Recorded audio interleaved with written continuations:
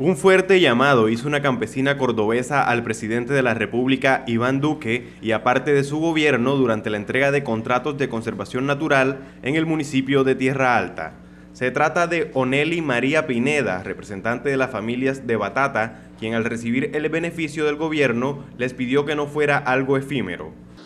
Yo soy una mujer desplazada por medio del conflicto.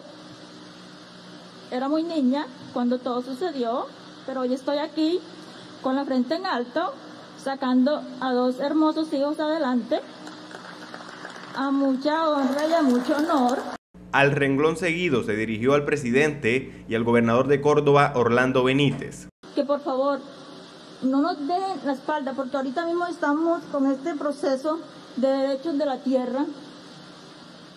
Que no sea que todo se quede aquí, porque vean, nosotros somos campesinos que estamos acostumbrados a trabajar, a adquirir con nuestro esfuerzo donde tenemos en nuestro alcance.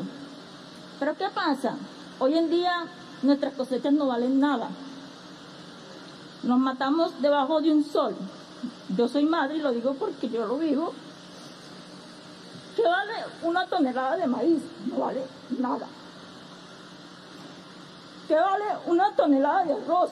Está por el suelo. O sea, los campesinos a veces dicen, ¿por qué no progresan? Pero es que a veces estamos como ese burro que es alambrero y que ya le tiene una horqueta.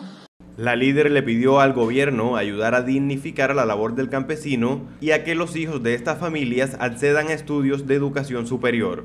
Entonces, ¿qué pasa? Que los que están arriba nunca miran el esfuerzo de aquel campesino. Necesita progresar. Vamos a darle valor de lo que él cosecha, de lo que él cultiva para que sus hijos se esmeren y tengan un futuro mejor.